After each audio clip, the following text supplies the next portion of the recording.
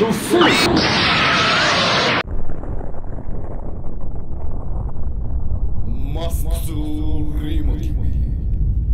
はい、皆さんこんにちは、マロです。いやー、もうすぐですね、もうかなり楽しみなパワービーツプロの発売。まあ、こちらね、先月発売された AirPods の新型なんですけども、これもね、以前よりサクサク、まあ、使えるようになったんですけども、まあ、かなりね、マイルドなアップデートだっただけに、まあ、もっとね、わかりやすくインパクトのある進化が欲しかったなっていう声が非常に多いですね。まあ、その直後にね、あの、パワービーツプロの発表がありまして、まあ、AirPods じゃね、ちょっと物足りないなって考えてる方も、えー結構ね、たくさんいらっしゃいますので、何よりね、このパワービーツプロがね、もう性能も機能もね、もう最高じゃねえかという声がね、めちゃくちゃ多いですね。そしてね、アメリカではね、実際にガジェット系のライターがね、手に取って、その使用感をね、記事にまとめてたりしてます。これめっちゃ羨ましいっすね。今回はですね、そんな実際に使ってみたね、方の感想をちょっとまとめて、果たしてね、このパワービーツプロ買いなのか、ちょっと検証していきたいと思います。まあ、果たしてね、その完成度はどんなもんなのか、ちょっと見ていきましょう。で、実際にパワービーツプロを使用した方は、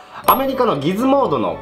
えー記者の方みたいでまずね記事のタイトルになってるのはみんなが求めてた AirPods を超える存在と書かれています。まあもうこれだけでねかなり期待できるんじゃないかなと思いますけどね。ワクワクが止まりません。でよく比較されるねパワービーツプロと AirPods なんですけどもこの2つのね違うところは、まあ、AirPods はね生活を豊かに便利にするように、まあ、考えられて作られてるんですけども、えーパワービーツの方はねスポーツでの使用そして音質の面に重点を置いてるみたいです。そのためですねあの防滴とかね防末の仕様になっていてそしてねカナル型が採用されてます。AirPods はねつけたままの生活がかなりね快適にできる仕様なんですけども、まあ、逆にねパワービーツプロはスポーツだとかそういったアクティブな活動を中心にまあ、使うとね楽しめるようになってるみたいです。まあそういった違いの点も踏まえて、えー実際ね使ってみた方の感想をちょっと見ていきましょう、えーまずですね単なるワイヤレス版ではないと書かれてます、まパワービーツプロの前に全モデルのねパワービーツ3、えーこれ僕もね愛用してるんですけどもただ単にね前のモデルをワイヤレスにしただけじゃないですよということですね、まあ、これら前のモデルをしのぐスポーツ向けの完全ワイヤレス型イヤホンを、ま、目指して作られたと、ですからねザインからドライバーまで全てを見直して作られた全くね新しいラインナップということですね。そしてね AirPods と変わらない使い心地、まあ、パワービーツプロはですねこちらの AirPods と同じ H1 のチップが搭載されていて、まあ、もちろんね iPhone 以外のデバイスとも簡単に切り替えができてその速度もアップしてます、まあ気持ちのいい連携がね AirPods と同じようにできると。そして AirPods とね同じ光学センサーも採用されてますので、まあ耳に入れると音楽が再生して耳から出すと音楽が停止するといった機能がですねこの光学センサーでパッと検出されてそしてですね、えー今回は完全ワイヤレスイヤホンということで、えーケースが付属してるんですけども AirPods と同じようにねケースを開けるとペアリングができると、まあ、これもいちいち設定から Bluetooth ってやらなくていいのでめちゃくちゃ便利なんですけどそしてマイクも搭載されてますので Hey Siri でね Siri を立ち上げて、まあ、使用することができると。ですから AirPods に入ってる機能が丸々使えるわけですね。そして AirPods はですねタッチ操作なんですがこちらの PowerBeats Pro は両方にボタンがついてます。なので AirPods のね、まあ、唯一の弱点というか、まあ、音量操作が単体でできないんですよね。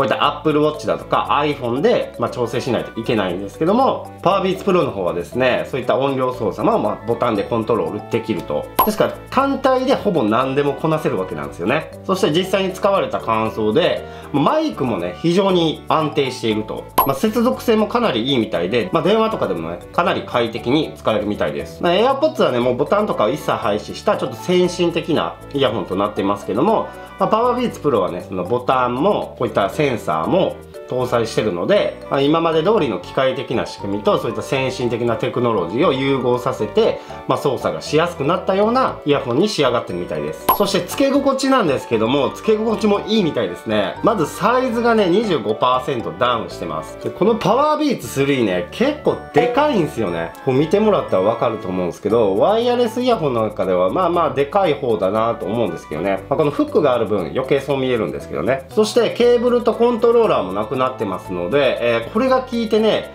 かなり付け心地も軽いみたいなんですよ。まあ重量とかこのサイズがね付け心地にやっぱり大きく影響してるみたいで、まあ、この大きさゆえにね敬遠してる方もいらっしゃると思います。ですからより軽やかに、ま使えるようになったと言われてますのでこれは嬉しいポイントですね。で付け心地はですね最初ぴったりねフィットするポイントをね探さないといけないみたいです。まあ、それにね、ちょっと試行錯誤されたみたいなんですが、一度ね、ここだっていうポイントを見つけると、それ以降はね、快適にまあ、装着ができると。ま、すっとね、馴染む付け心地になるみたいです。パービーツ3もね、そのポイントをしっかりしないと結構ね、ずれやすかったので、えー、それを見つけるまでは僕もね、結構苦労しました。そして今回のパービーツプロはですね、そのポイントをマスターすると、ま、耳と一体化したような付け心地ということで、えー、かなりね、付け心地は改善されてるんじゃないですかね。これね、僕一番心配してたところなんで、すごく嬉しい情報でしたね。そして皆さん気になるサウンド。えー、今回パワービーツプロがね、えー、最も注力してるのがこのサウンド面ということで、まあ、新型の AirPods はね、音質面では大きく改善はまあされてませんでした。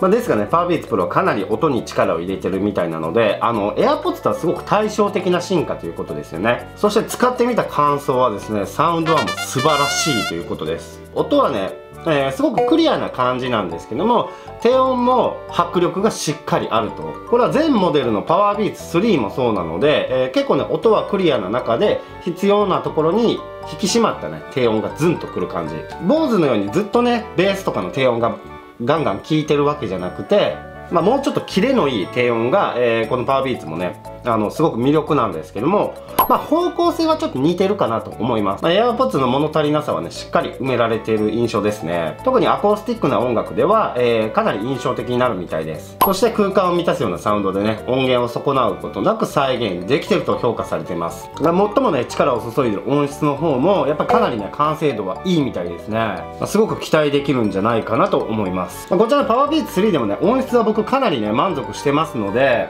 これ以上のねクオリティになっているんだったら、まあ、それはねワイヤレスイヤホンとしてね僕はもう感動レベルだなと思ってます。そして最後に今までのシリーズのどの製品よりも、まあ、素晴らしい製品になっていると締めくくっていました、まあ、今回のパワービーツプロはですねあの AirPods ではね、まあ、実現できない部分をね具現化した、まあ、新しいねチャレンジということみたいなんですが、まあ、結果としてはね成功ということでかなり完成度の高いねワイヤレスイヤホンに仕上がってるみたいです、まあ、しかし内容を見てるとね同じ1のチップを搭載してる AirPods と、まあ、機能などはねすごく似ていても、まあ、全くね別の方向性の製品だなということは感じますね。ですから PowerBeats Pro と AirPods どちらがいいかっていうのは安易にはちょっと決めにくいですね。AirPods を使っていて感じるのは、まあ、普段の生活にねすごく溶け込むようなイヤホンで、まあ、それもね本体の軽さとか付け心地そして音質に至るまでまあ、そういう部分をね考えられて作られてると思います、まあ、遮音性がね低いと言われてますけども、まあ、外の音をね取り込むことで、まあ、生活にね支障をきたさないような、ま、そこがねむしろ安心感のあるイヤホンなんですけどね、まあ、パワービーツプロは、ま、普段の生活というよりもそのスポーツだとか